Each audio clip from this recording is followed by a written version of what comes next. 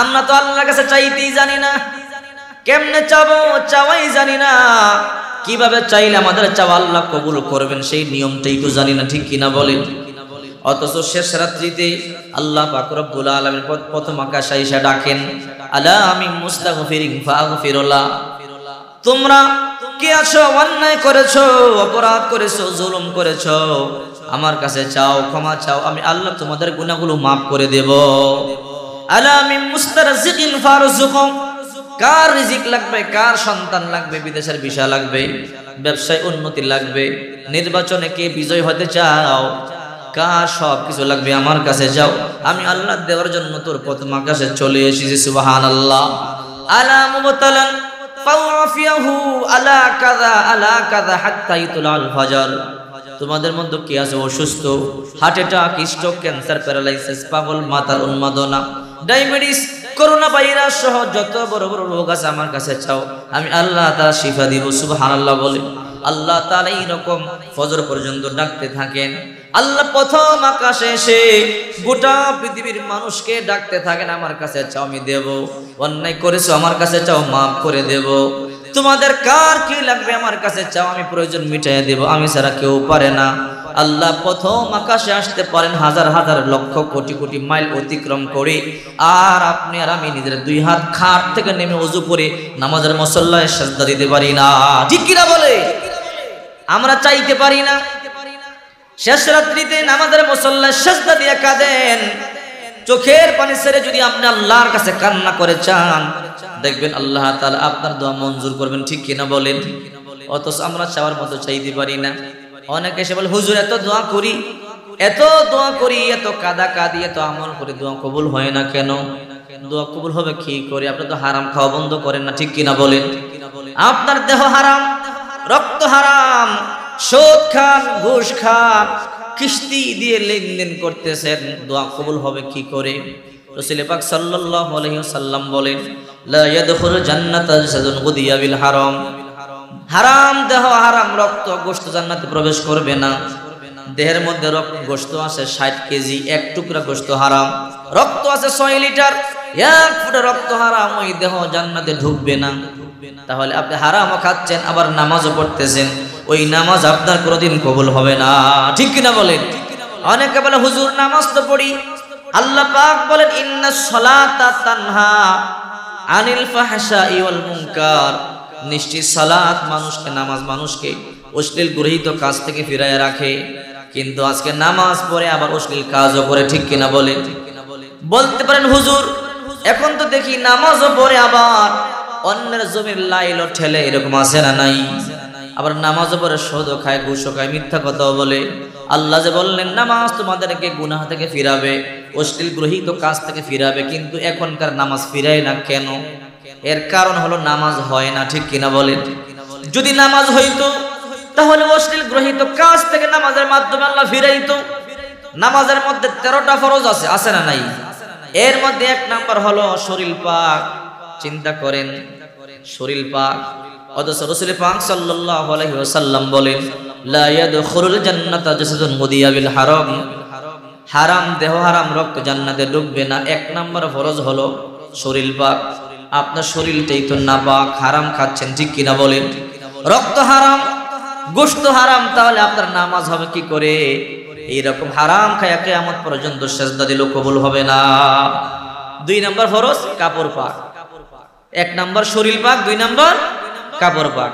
নবীজি বলেন মানুষ তারা বিআশারাতি দারাহিম, ফিহি দিরহাম হারাম, লাম ইয়াকবালিল্লাহু সালাতাহু মা দামালাম 10 টাকা দিয়ে কাপড় কিনছো এক টাকা হারাম আছে, ওই কাপড় পরে নামাজ পড়লে কিয়ামত পর্যন্ত নামাজ হবে তো প্রথম ফরজ শরীর পাক, ওই দিকেও আপনার শরীর হারাম। কাপড়ও কিন্তু হারাম টাকা দিয়া। এইরকম নামাজ পড়লে নামাজ কাজ হবে? এই জন্য আমাদের এবাদত কাজ হচ্ছে না। আমরা তো এবাদত বন্দিগি করি? কিন্তু আমাদের এবাদতে কোনো কাজ হচ্ছে না, ঠিক কিনা বলে? অথচ বিশ্বনবী মুহাম্মদ রসুল্লাহ সাল্লাল্লাহু আলাইহি ওয়াসাল্লাম বলেন, উম্মতের দল আর দুনিয়া হলি বদলাকুম আনতুম হলিকতুম লিল আখিরাত এই দুনিয়ার যা কিছু আছে, সব কিছু তোমাদের জন্য আল্লাহ সৃষ্টি করেছেন। আর তোমাদেরকে আল্লাহ সৃষ্টি করেছেন আল্লাহর গোলামের জন্য।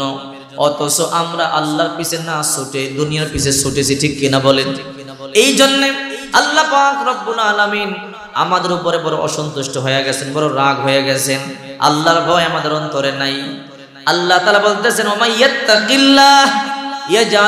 মাখরাজা, যারা আমারে ভয় করে, দুনিয়াবি সমস্ত বিপদ থেকে এদেরকে হেফাজত করব। কিন্তু আমাদের ভিতরে আল্লাহর তো ভয় নাই, ঠিক কিনা বলেন? কবরের ভয় আমাদের ভিতরে নাই। আমাদের ভিতরে আল্লাহর ভয় নাই, আমাদের ভিতরে তাকওয়া নাই।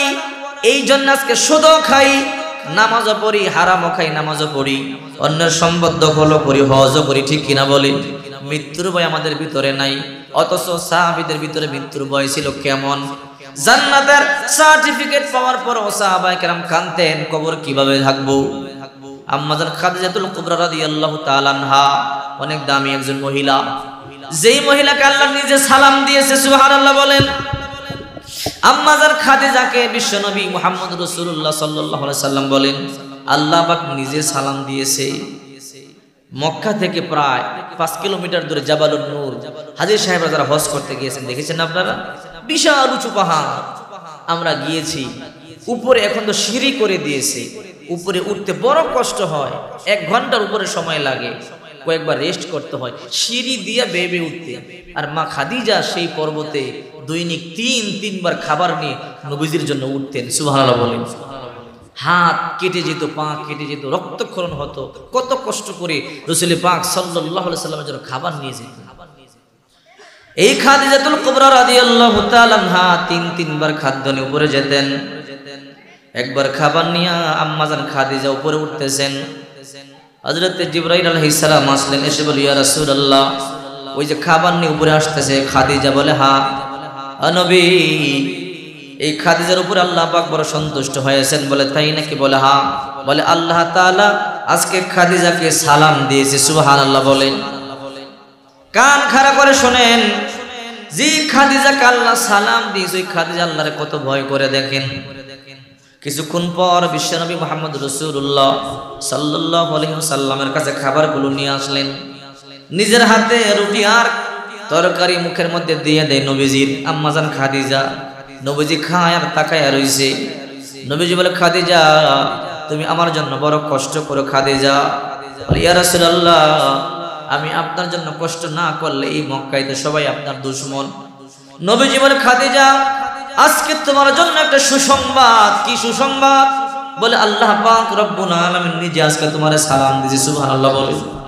এই কথা শুনবার পর মা খাদিজা কান্না করে দিলেন, চোখ বেয়ে পানিগুলো পড়তেছে। মা খাদিজা বলে, ইয়া রাসূলুল্লাহ, আল্লাহর সালামের জবাব কীভাবে দিতে হয় আমি জানি না। আমার পক্ষ থেকে আল্লাহর সালামের জবাবটা আপনি দিয়া দিবেন। কিছুক্ষণ পর মা খাদিজা চলে গেলেন। জিব্রাইল বলে, ইয়া রাসূলুল্লাহ, খাদিজার ভাগ্য বড় ভালো। আল্লাহ খাদিজাকে নিজে সালাম দিয়েছে, সুবহানাল্লাহ। মা খাদিজা নবীকে কত ভালোবাসতেন? নবীজি দাওয়াত দেওয়ার জন্য রাত্রে দুইটা, তিনটা বাজে বাইরে যেতেন। রাত্রে দুইটা, তিনটা বাজে ঘরের মধ্যে প্রবেশ করতেন দরজার মধ্যে মাত্র একটু নখ করতেন নখ করতে দেরি, মা খাদিজা দরজা খুলে দিতেন নবীজি বলে, খাদিজা, তুমি কি ঘুমাও নাই? একটু নখ করলাম, দরজা খুলে দিলাম। অগো নবীজি, মক্কার চতুর্দিকে আপনার দুশ্মন। আপনি দাওয়াত দেওয়ার জন্য দূরে যান। যদি আপনি ঘরে এসে আমাকে ডাকাডাকি করেন, আপনার কণ্ঠের আওয়াজ যদি বড় হয়ে যায় মক্কার কাফেরগুলো হয়তো আপনাকে কষ্ট দিবে। এই জন্য নবীজি, আপনি যতক্ষণ পর্যন্ত বাইরে থাকেন, রাত্র দুইটা, তিনটা বুঝি না, আমি খাদিজা বিছানায় পেট লাগাই না। এত ভালোবাসতেন ওই মা খাদিজা। কালের পূর্বে কান্না করতেছেন, যে কথাটা বোঝানোর জন্য বলতেছি। এত কান্না করতেছি। ছোট্ট মেয়ে ফাতেমা গিয়ে বলে, মা, আপনি কান্না বন্ধ করেন। মা খাদিজা বলে, না রে, আমি কান্না বন্ধ করব না। বলে, কেন? কবরের ভয়। অন্ধকার কবরে কি করে আমি থাকব? যেই কবরে সাথী নাই, বাতি নাই, যেই কবরে বন্ধু নাই, বান্ধব নাই, ওই কবরে কীভাবে থাকব? ওই কবরের ভয় আমাকে কান্না করায়। আমি কি করে অন্ধকার কবরে থাকব? অথচ খাদিজা নবীকে কত ভালোবাসতেন দেখেন। এই খাদিজাকে আল্লাহ সালাম দিয়েছে। অথচ মা খাদিজা নিজেও জান্নাতে যাবেন। অথচ ওই খাদিজা কান্না করে কবরে কি করে থাকব? কান্না বন্ধ হয় না। কিছুক্ষণ পর বিশ্বনবী মোহাম্মদ রসুল্লাহ সাল্লাহ বাড়ি দিয়ে আসলেন। আসবার পরে ফাতেমা বলে, ওগো আব্বা আম্মার কান্না বন্ধ হয় না। বলে, কেন? আব্বা যান আম্মা বলে, বুঝাই, কিন্তু আম্মা জানের কান্না বন্ধ হয় না। রসুল পাক সাল্লাল্লাহু আলাইহি ওয়াসাল্লাম গেলেন খাদিজা কেন তুমি কাঁদো? কান্না বন্ধ করো। বলে, না গো নবীজি, কান্না বন্ধ করব না। এ খাদিজা, কেন কাঁদো? অগো নবীজি, কবরের ভয়। যে কবরে সাথী নাই, বাতি নাই। যে কবরে বন্ধু নাই, বান্ধব নাই, লাইটের কোনো ব্যবস্থা নাই। অন্ধকার কবর, সাপ বিচ্ছর কবর, কি করে আমি থাকব? খাদিজার ভিতরে কত বড় আল্লাহর ভয় ছিল! আল্লাহ বলে, ইন্না আকরামাকুম ইনদাল্লাহি আতকাকুম। ইন্নাল্লাহা ইউহিব্বুল মুত্তাকিন। যারা মুত্তাকি এদেরকে আল্লাহ তাআলা ভালোবাসার নিগুর বন্ধনে আবদ্ধ করে নেয়। আসমানের নিচে জমিনের উপরে আল্লাহর কাছে সবচেয়ে বেশি প্রিয় হলো যারা মুত্তাকি যারা আল্লাহর ভয় করে। খাদিজা আল্লাহর ভয় করে, আল্লাহর আজাবকে ভয় করে এই জন্য কান্না করে। রাসূল পাক সাল্লাল্লাহু আলাইহি ওয়াসাল্লাম বললেন খাদিজা কান্না বন্ধ করে দাও। বলে, না গো নবীজি, আমি কান্না বন্ধ করব না। অনেক বুঝাইলেন বিশ্বনবী এক পর্যায়ে বললেন, খাদিজা, এ খাদিজা, তুমি যদি কান্না বন্ধ না করো, আমি নবীজি সহ্য করতে পারি না রে খাদিজা। আমিও আমারও কান্না চলে আসি। এক পর্যায়ে বলে, ওগো নবীজি, আমি কান্না বন্ধ করতে পারি। তিনটা শর্ত আছে। কয়টা শর্ত জোরে বলে? তিনটা শর্ত। রসুল পাক সাল্লাল্লাহু আলাইহি ওয়াসাল্লাম বলেন, খাদিজা, কি শর্ত? খাদিজা বলে, নবী গো, তিনটা শর্ত যদি আমার মেনে নেন, আমার তিনটা চাহিদা যদি পূর্ণ করেন, ওয়াদা দিলাম আমি কান্না বন্ধ করব, তার আগে আমি কান্না বন্ধ করব না। নবীজি বললেন, খাদিজা, তুমি আমার সুখ দুঃখের সাথী, মক্কার কাফেরগুলো যখন আমাকে মারবার জন্য আসতো, তুমি ডাল হয়ে দাঁড়ায় যাইতা। খাদিজা, তোমার সব সম্পত্তিগুলো ইসলামের জন্য দান করে দিয়েছ। এ খাদিজা, তোমার তিনটা চাহিদা আমি পূর্ণ করব, ওয়াদা দিলাম। এরপরও কান্না বন্ধ করো, বলো কি তোমার চাহিদা? এক নম্বর বলো অগনবীজি অন্ধকার খবরের ভয় আমার ভিতরে। কীভাবে আমি অন্ধকার খবরে থাকব আমার ভয়? নবীজি, মন করে নাকি আসবে? যদি আমি প্রশ্ন উত্তর দিতে না পারি, আমার বড় কষ্ট দিবে। অনবী এক নম্বর আমার চাহিদা হলো, আপনার গায়ের ব্যবহারিত একটা জুব্বা দিয়ে আমার কাপড়ে কাপড় পরাইয়া দিবেন। অগর নবীজি, যদি আপনার ব্যবহারিত জুব্বা আমার গায়ে থাকে, আমার আমার দিনে সাক্ষী দেয়, আল্লাহর ফেরেস্তারা আমাকে কষ্ট দিবে না। আল্লাহ আকবার। বিশ্বনবী মুহাম্মদ রসুল্লাহ সাল্লু আলাইহি ওয়াসাল্লাম বলেন, খাদিজা, ওয়াদা দিলাম, আমার ব্যবহারিত একটা জুব্বা দিয়ে তোমার কাপড়ে কাপড় পরাবো। দুই নম্বর, তোমার চাহিদা কি বলো? খাদিজা বলে, ইয়া রাসূলুল্লাহ, দুই নম্বর আমার চাহিদা হলো, আপনি নিজে আমার জানাজা দিবেন, নিজের হাতে আমাকে কবরের মধ্যে রাখবেন, নিজে কবরে রাইখা আপনার হাত দিয়ে মাটি দিবেন। নবীজি বলে, ওয়াদা দিলাম, আমি নিজে তোমার জানাজা দিয়ে নিজের হাতে কোলে করে কবরের মধ্যে রাখব, আমি নিজে মাটি দিব। তিন নম্বর হলো নবীজি, আপনার জবান থেকে শুনেছি যখন কোনো মাইয়াতকে কবরে রাইখা চল্লিশ কদম চইলা যায় আত্মীয়রা, চল্লিশ কদম দূরে যাওয়ার পরে দুইজন ফেরেস্তা ঢুকে মন কান্নাকি মন কান্নাকিরে ডুইকা বলে, মার রব্ব কমা ওমান নাবিয়ুকা তোমার রব কে? তোমার দিন কি? তোমার নবী কে? তিনটা প্রশ্ন করে, ওগো নবীজি, তিনটা প্রশ্নের উত্তর দিতে পারলে ফেরেস্তারা ভালো ব্যবহার করে, দিতে না পারলে বড় জুলুম করে, অত্যাচার শুরু করে দেয়, সাপ বিচ্ছু ধ্বংস শুরু করে দেয় ও নবী অন্ধকার কবরে কেউ নাই। যখন মুনকার নাকির আমার প্রশ্ন করবে যদি উত্তরগুলো আমি দিতে না পারি, আমার উপরে অত্যাচার শুরু হয়ে যাবে। সাপ আর বিচ্ছুগুলো আমাকে কামড়াবে। আমি চিৎকার করলেও কেউ শুনবে না। অগুনবীজি আপনি ওয়াদা দেন। আমাকে দাফন করবার পরে মাটি যখন চাপা দিবে, সবাই চল্লিশ কদম দূরে চলে যাবে। চল্লিশ কদম দূরে যাওয়ার পরে দুইজন ফেরস্তা আমার কবরে ঢুকবে। আমি যদি উত্তরগুলো দিতে না পারি, বড় কষ্ট হবে। আপনি ওয়াদা দেন, সবাই চলে যাবে, কিন্তু আপনি চলে যাবেন না। অগনবীজি আপনি আমার কবরের পাশে দাঁড়িয়ে থাকবেন। যতক্ষণ পর্যন্ত মুনকার নাকির আমার কবরে প্রবেশ না করবে, ততক্ষণ পর্যন্ত আপনি যাবেন না। নবীজি, মুনকার নাকিরের প্রশ্নের উত্তরগুলো আপনি দিয়ে দিবেন। যদি আমি দিতে না পারি গো অগর নবীজি আমার জবাবগুলো আপনি আমার পক্ষ থেকে নিজে দিয়ে দিবেন। আল্লাহ আকবার। বিশ্বনবী মুহাম্মদ রসুল্লাহ সাল্লাল্লাহু আলাইহি খাদিজা, কান্না বন্ধ করো ওয়াদা দিলাম। আমি নিজের কাফনের কাপড় তো আমার জুব্বা দিয়ে দেব। আমি নিজে তোমাকে নিজের হাতে কোলে করে কবরে রাখব। আমি নিজের নিজের হাতে, বরকতি হাতে মাটিগুলো দিব, সুবহানাল্লাহ বলে। ও খাদিজা, সবাই চলে যাবে, আমি যাব না রে খাদিজা। মুনকার নাকিরা এসে তোমার প্রশ্ন করলে উত্তরগুলো আমি রহমাতুল্লিল আলামিন দিয়ে দিব। আল্লাহু আকবার বলে। মা খাদিজার ইন্তেকাল হলো। গোসলের কাজ যখন শেষ হলো, নবজির ব্যবহারিত জুব্বা দিয়ে কাফনে কাপড় পরাইয়া দিলেন। রহমাতুল্লিন আলামিন নিজে জানাজার নামাজ পড়ালেন। নিজের হাত দিয়ে কোলে কইরা বরকত হাত দিয়া নবীজি কবরের মধ্যে নাম নামলেন আরে সুবহানাল্লাহ বলেন। নবীজি জীবনে মাত্র তিনজন মানুষকে কবরে নিয়ে নামছে, আল্লাহু আকবার বলেন। তিনজন মানুষকে নিয়ে কবরে নামছে? নাই নাইমা আল্লাহর কাছে বলছে, আল্লাহ, আপনার কাছে আমার কোল থেকে হস্তান্তর করলাম। কেমন দামি কথা গো, খাদিজারে জানাজা দিয়া, নিজের বুকের মধ্যে জড়ায়া এইভাবে লাশটারে নিয়ে কবরে নামছে। আল্লাহ, এ আমার সঙ্গিনী, আমার সাথী। খাদিজার আমি আপনার খুলে দিয়ে দিলাম। নিজের কবরের মধ্যে রাখছি। বরকদে হাত ভিতর হাত দিয়ে মাটি দিলেন। মাটিগুলো দিয়া গো, নবীজি দাঁড়ায় রয়েছে সব সাহাবীরা চইলা যায়। একা একা দাঁড়ায় রইছে যায় না। সিদ্দিক আকবর আদি আল্লাহ তালাম বলে, ইয়া রাসূলুল্লাহ, আপনি কি যাবেন না? বলেন না, আমি যাব না। ওগো একা একা কেন দাঁড়ায় থাকবেন এই অন্ধকার কবরে? নির্জন গৃহ, দাফন কাজ শেষ। দাফন কাজ শেষ হলে সবাই তো বাড়িতে চইলা যায়। খেয়ে আপনি একা একা দাঁড়াইয়া থাকবেন। নবীজি বলে, না, তোমরা যা আমি যাব না। আবু বকর বলে, ইয়া রাসূলুল্লাহ, তাকায় দেখেন সূর্য লাল হয়ে গেছে, সূর্য কিন্তু ডুবে যাবে। চলেন না, বাড়িতে চইলা যাই। কিছুক্ষণ পরেই তো মাগরিবের রাজান দিবে। রাসূল পাক সাল্লাল্লাহু আলাইহি ওয়াসাল্লাম বলে, আবু বকর সবাই চইলা গেছে, তুমিও চইলা যাও। আমি যাব না, কেন যাবেন না? আবু বকর রে, যতক্ষণ পর্যন্ত মুনকার নাকির কবরে না ঢুকবে, ততক্ষণ পর্যন্ত আমি যাব না। সিদ্দিক আকবর বলে, ইয়া রাসূলুল্লাহ, কেন যাবেন না? আমার খাদিজাকে ওয়াদা দিয়েছি।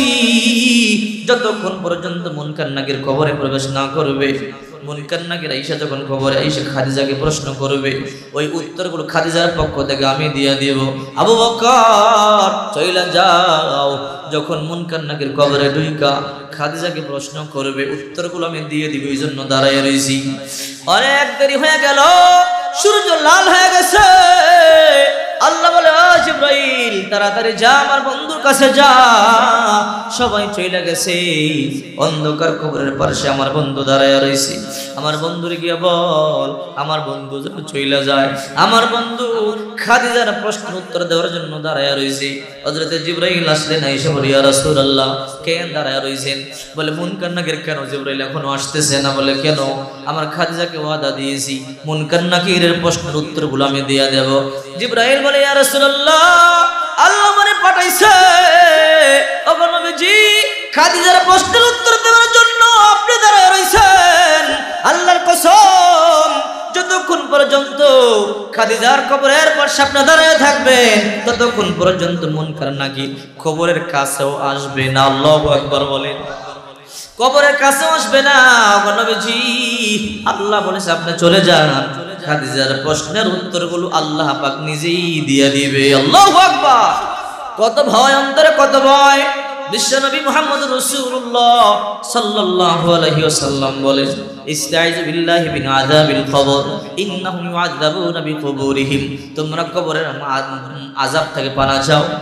কিন্তু হয়। একবার খেয়াল করেছেন?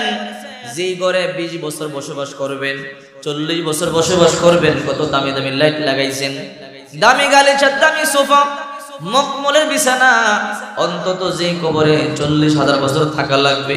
একবার কি খেয়াল করেছেন ওই কবরে আমার লাইট হবে নাকি? সাথী হবে নাকি বাতি হবে নাকি? দুই বছর জামা পরবে হাজার বছর পরবেন কাফনের কাপড়। একবার কি বাজার থেকে কিনে এনে দত করছেন নাকি? বালিশের সাথে একবার লাগছেন হায়ের কাফনের কাপড়, তুই তো আমার সঙ্গী। তুই তো আমার গায়ের সাথে চল্লিশ হাজার বছর থাক থাকবি। একবার কি এটা করছেন? অথচ দুনিয়া দুনিয়া পাগল। একবার কি খেয়াল করেছেন? অন্ধকার খবরে যাওয়া লাগবে?